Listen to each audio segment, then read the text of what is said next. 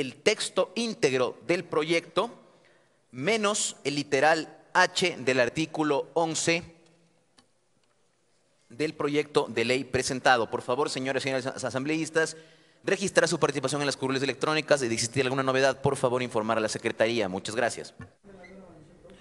Se procede entonces ahora a un nuevo registro y esta vez se trata de votar el primer bloque propuesto por el, eh, ponente del proyecto, el asambleísta Patricio eh, Chávez. Chávez, exactamente, el presidente de la Comisión de Transparencia, para que se apruebe en bloque todo el proyecto de ley, en su texto, a excepción del literal H del artículo 11. Este es el primer bloque de votación. Comienza la parte relacionada con el registro, son 107, 108 legisladores presentes en la sala. Ya cuando se cierre el registro sabremos el número definitivo de personas, de asambleístas habilitados para participar de esa votación. Que es lo que contempla también este proyecto de ley, artículo 12 de la acreditación de las personas voluntarias, dice, la acreditación de las personas en servicios de voluntarios se efectuará mediante certificación expedida por la entidad de voluntariado en la que se realiza la acción, en la que deberán constar como mínimo, además de los datos personales e identificación del voluntario y de la entidad, los siguientes Requisitos. Acreditación de que el sujeto está interesado y tiene la condición de voluntario. La fecha, duración y naturaleza de la prestación de efectuar ese voluntariado. También se establece que de los proyectos y programas de voluntariado, estos serán y se realizarán a través de los siguientes requisitos. Registro que se realizará según el proceso establecido en el Sistema Nacional de Voluntariado del Ecuador, identificación y firma del responsable del programa, fines y objetos que se pongan, descripción de las actividades que comprende, tiempo de duración prevista para la ejecución, descripción de la población o grupo objetivo de la intervención de la acción voluntaria a cumplirse, así como criterios para determinar el perfil idóneo del voluntario en cada una de las acciones a realizarse, medios y recursos precisos para esa ejecución. Otro de los artículos contempla la incorporación para las personas voluntarias y se determina que esta incorporación de personas voluntarias a las organizaciones de voluntariado deberá colaborar en ellas y se formalizará por escrito mediante un convenio que además de determinar el carácter altruista de la relación tendrá como mínimo el siguiente contenido el conjunto de derechos y deberes que corresponda a ambas partes que deberá haber respetado a través de la presente ley, pero también el contenido de actividades y tiempo dedicado en comprometerse a realizar ese voluntariado, el proceso de formación, inducción que se requiera para el cumplimiento de sus actividades, duración del compromiso y las causas y formas de desvinculación por ambas partes.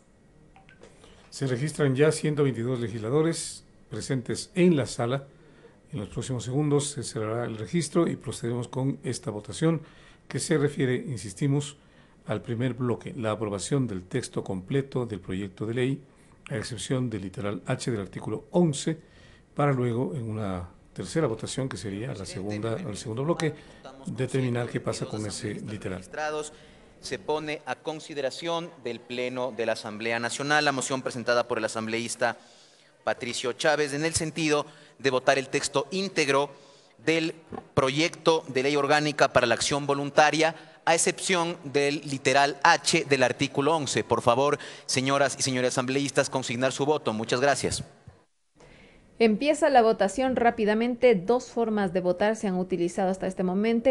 momento. Mayoritariamente se puede observar que son votos afirmativos. Hay un voto en contra hasta este momento. 63 votos a favor de respaldar esta moción para que se apruebe el texto íntegro, a excepción del literal H del artículo 11 de este proyecto de ley que corresponde a la ley orgánica para la acción voluntaria. Existen los respaldos, superan los votos mínimos necesarios cuando hay 92 y aumenta la votación y todavía faltan parlamentarios y parlamentarias por consignar sus votos.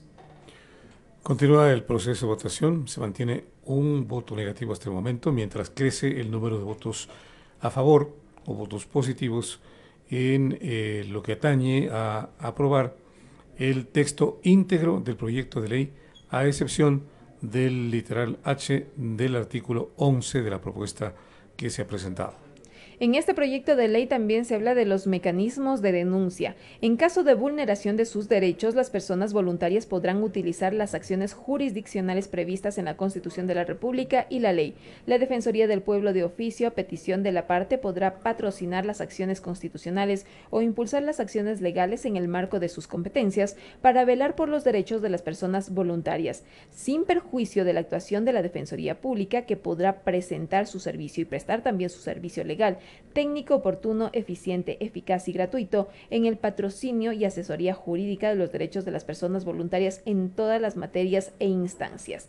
Pero también se establece la colaboración público-privada en actividades del voluntariado y entre los artículos consta también las instituciones estatales. En este artículo, que es el 17, se determina que las instituciones estatales que incorporen programas o proyectos dentro de sus agendas e incorporen acciones de personas voluntarias deberán formalizar por escrito mediante un convenio y formalizar por escrito los términos de la colaboración, considerando los derechos de las personas voluntarias, en especial de grupos de atención prioritaria. Estamos a punto de cerrar la votación. Al momento hay 119 votos afirmativos y un negativo. Faltaría solamente por eh, confirmarse dos votos para completar los 122. Me permito informar, señor presidente, que contamos con 119 votos afirmativos, un voto negativo, cero blancos, dos abstenciones. Ha sido aprobado el texto íntegro del proyecto de ley orgánica de acción voluntaria, a excepción del literal H del artículo 11. Pasamos a votar.